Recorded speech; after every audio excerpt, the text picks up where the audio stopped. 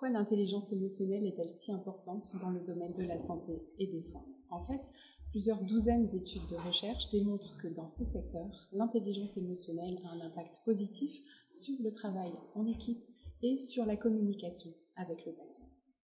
L'intelligence émotionnelle augmente l'empathie, améliore la prise de décision, favorise la gestion du stress et permet d'améliorer l'épanouissement au travail.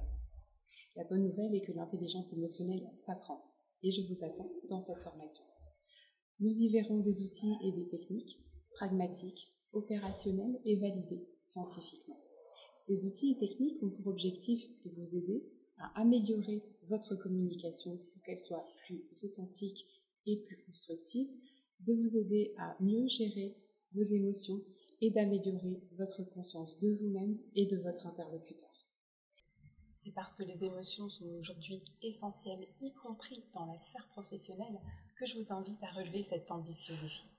Être plus conscient, plus résilient, plus empathique et plus heureux.